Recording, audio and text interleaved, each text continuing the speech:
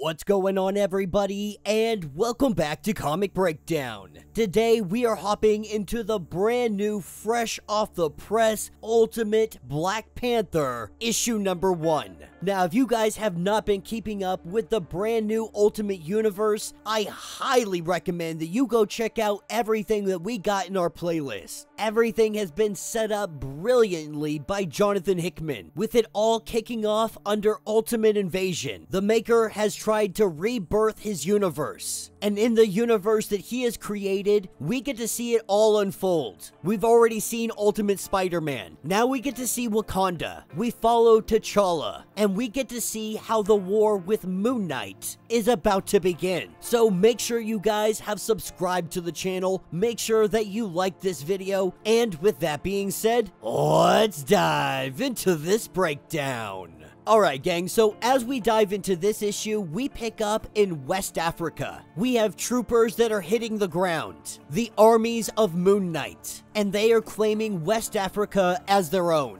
In the woodlines, we have the Wakandans that are watching, not allowed to interfere, not allowed to act. They can only watch this village get burned, the people murdered on the ground. They can only return to their king with the truth. They have now seen the anger of Ra and Khonshu. The justice of Wakanda will soon follow. This is what picks us up with T'Challa, waking up from a nightmare. His dreams have been trying to tell him something, but he can't figure out what it is. But today, he has to push this to the back of his mind, because this morning, he has the duties of a king as he flies into the Citadel of Knowledge. This is where he is met by his father. They talk briefly about his dream. His father tries to let him know that maybe the gods are trying to speak to you, that if you really want to understand these dreams, you must go to the mother of Voodoo Khan, that she is seeking your counsel. But T'Challa doesn't really trust them, believing that she wants his servitude. Nonetheless, T'Challa must recognize their power. Eventually, heeding his father's advice, he goes to the temple of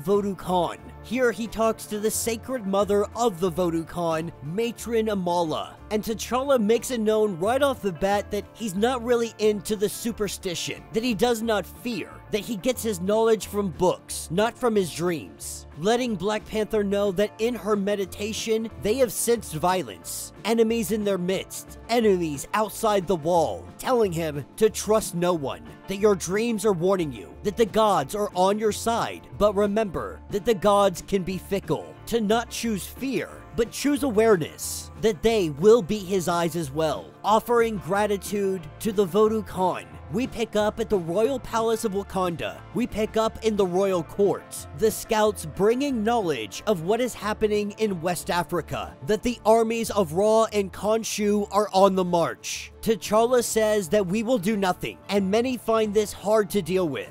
Not that he's going to do nothing per se, but he is doing nothing about the circumstance currently at hand. That he will not march his army out there. He will not enact a war. Right now, they need information. They need reconnaissance. Need to know exactly what they want. And once they have all the information, then they can consider war. With Shuri going ahead and leaving, she meets up with the captain of arms. As the two of them have a discussion, the captain's really just letting her know that you can take all of that anger you have built up, all of that conflict, and build Wakanda something beautiful. Use it to fuel your mind. And so while she goes off to do just that, we pick back up in West Africa, another village, a young boy, and the forces of Ra and Khonshu. As they line up and they prepare to fire and gun down this young boy, he cries out, and his cries are met with Killmonger. Killmonger showing up and butchering these guys on site, saying that more will be coming. This is when the air support flies in, a helicopter hovering over Killmonger. He calls in for the love of his life to deal with it. And that is when the storm begins. The thunder rumbles and the lightning cracks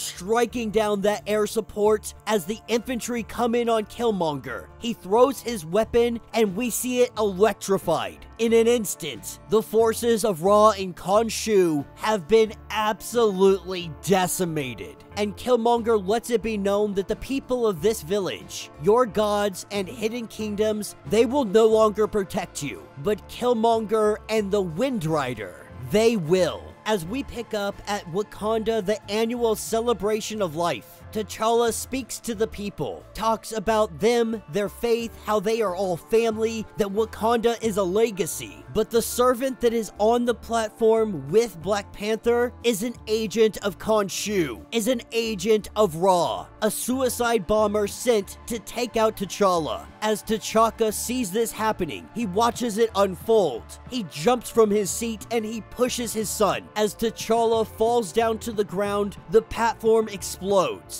The Black Panther suit surrounding T'Challa as he hits the ground. Looking around him, he sees his father's burning body. He calls for the queen. He calls for his sister. He calls for the Voodoo Khan. Because their enemies, they call themselves Moon Knight. And Wakanda is now at war. And that will be the end of this issue. So let me know what you guys think down in the comments. This is a great start to Ultimate Black Panther. As we pick up in this universe, we see that things are different here. Wakanda isn't necessarily known to the world. They keep to themselves. They try to avoid conflict, they try to avoid war, but they have been unable to do so. The forces of Ra and Khonshu, they are at the door. They are knocking. After this suicide attack, T'Challa, he is ready for war. He tried to avoid it at all costs, but there is no other option. Iron Man has yet to show up, but we can assume that it is only a matter of time before he comes seeking out the ultimate Black Panther. Because while war with Moon Knight, with the moon itself, that will be a monstrous battle in its own right. But there is a much bigger battle at play. The battle against the Maker. It will be only a matter of time before he emerges. And the world has to be ready to take him on. I think my favorite part of all of this so far is definitely Killmonger and Storm, aka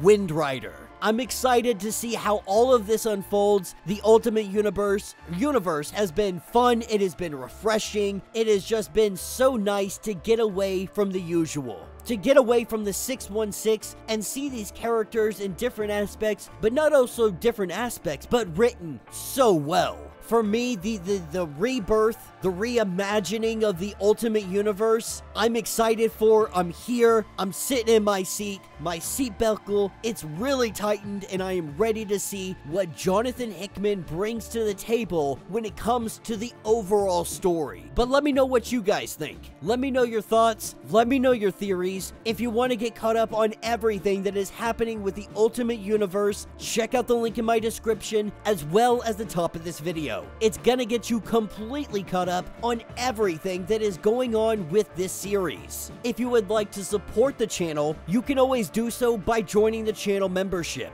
Much like Patreon, having multiple different tiers, from $1 to $50, from loyalty badges to comics every single month. Not only are you helping out the channel tremendously, but you are getting tons of perks in the process. Now, if you're unable to do this, do me a favor, subscribe to the channel, like this video, hit that notification bell so you don't miss any of the content we have coming out. And with that being said, until the next breakdown.